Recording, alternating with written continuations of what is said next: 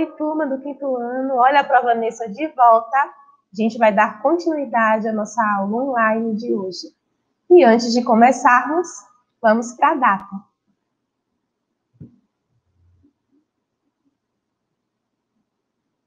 Pronto, turma. Hoje, 11 de 5 de 2021, uma terça-feira.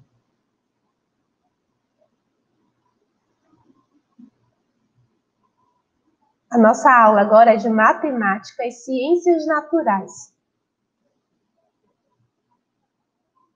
E agora nós vamos estudar sobre a água e a geração de energia. Prontinho. Mas antes da gente começar a falar sobre a água e a geração de energia, a Pro gostaria de passar para vocês uma historinha, tá bom? Prestem bastante atenção na historinha que vai aparecer e vamos fazer a leitura junto comigo.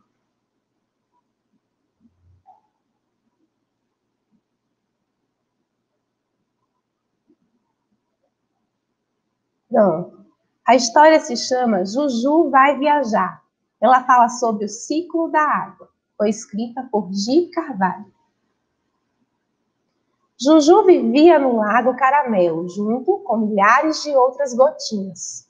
Como podem ver, ela é uma gota d'água super charmosinha. Viver no lago era divertido e Juju estava acostumada a toda aquela agitação sapos, peixinhos, patinhos. Tinha até um burrinho chamado Nicolau, que toda tarde aparecia para conversar com ele. Naquela tarde, ela contava para Nicolau que em breve faria uma viagem.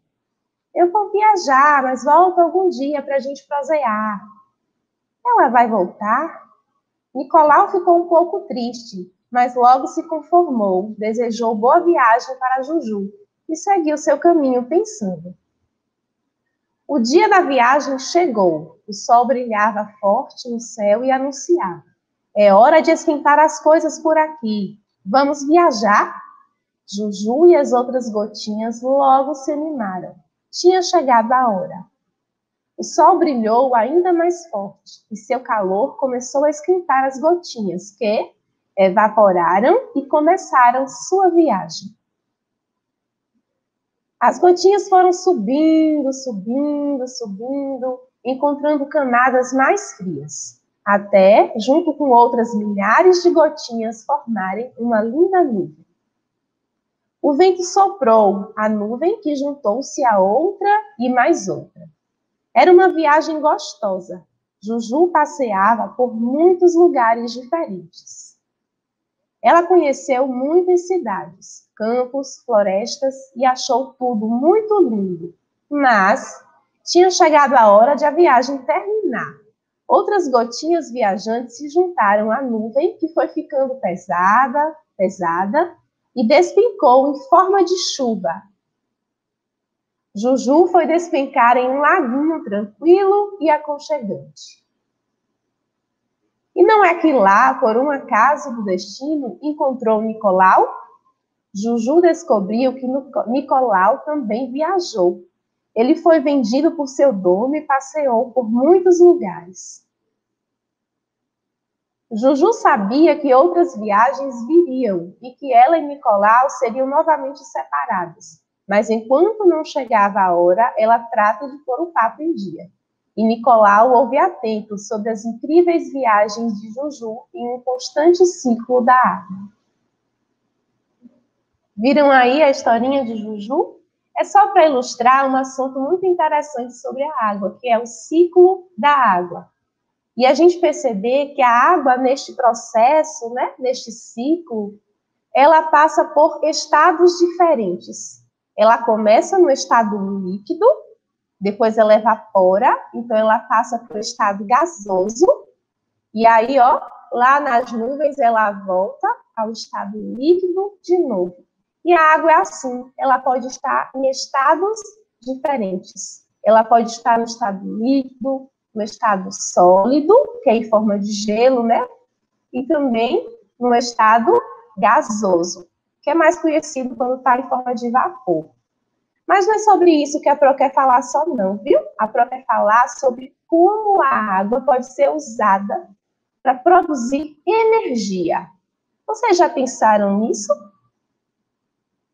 Vamos lá?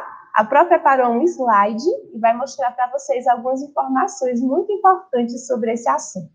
Então, vamos observar as explicações. Então, vamos lá. Nós vamos estudar sobre a água.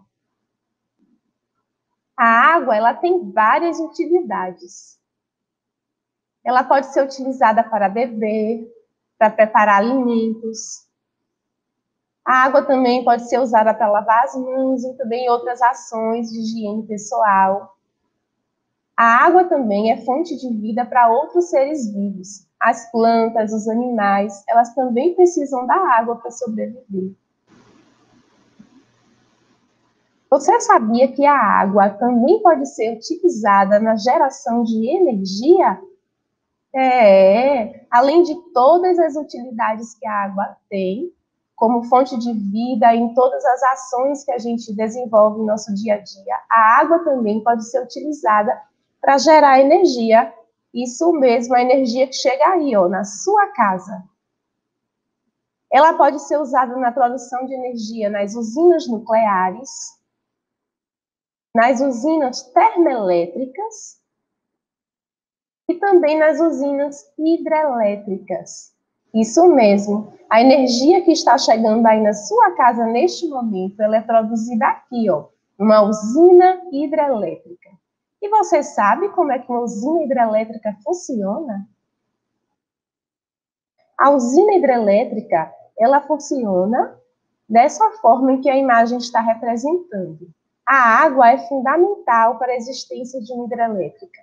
Nesse tipo de usina, a água fica concentrada em reservatórios, presa por barreiras.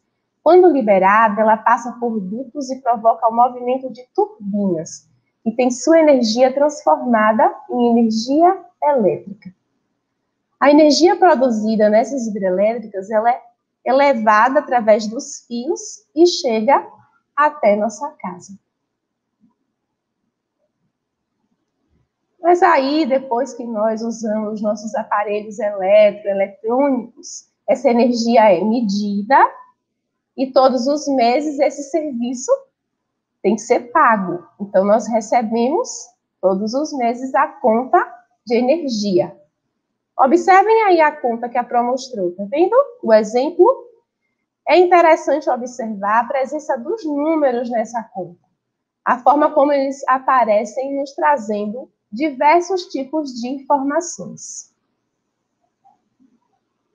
Os números aí aparecem nos dados pessoais do dono da conta, aparecem também na data de vencimento, está presente no valor da conta, no quanto você deve pagar pelo consumo de energia, e aparecem também nos dados sobre o consumo mensal, sobre quanto de energia foi consumido nesse mês. Essa parte da conta aqui é uma parte bem interessante, ela mostra o consumo anual, ou seja, quanto de energia foi consumido em sua casa durante um ano. Percebam aí, ó, todos os meses escritos do lado esquerdo, no meio, a quantidade de quilowatts-hora calculado em que cada mês gastou. E aqui desse lado, nós temos aí as barras de tamanhos diferentes, representando valores diferentes, se relacionando com o consumo de energia elétrica. Esse gráfico aí é um gráfico de barras. É interessante a gente lembrar que o consumo de energia ele é medido em quilowatts-hora. Agora pare e pense. Se quiser, pegue aí, dá uma pausazinha, pega aí a conta de energia de sua casa e tente observar os dados que a Pro mostrou. Tente encontrar o gráfico e pense um pouquinho. Analise aí quais meses na sua casa houve um maior consumo de energia e quais meses houve, ou qual mês houve, um consumo menor. Por que será que isso aconteceu? O que, que a gente pode fazer em nossa casa para economizar energia, para a gente não gastar tanta energia? Hein? Pronto, agora é com você. Prontinho, gente. Nossa aula termina aqui. Vocês agora serão direcionados pela PROD, cada um, para fazer a atividade programada para esse, esse tema. E aqui a Pro se despede até a próxima aula, viu? Tchau, tchau, ó. Beijos.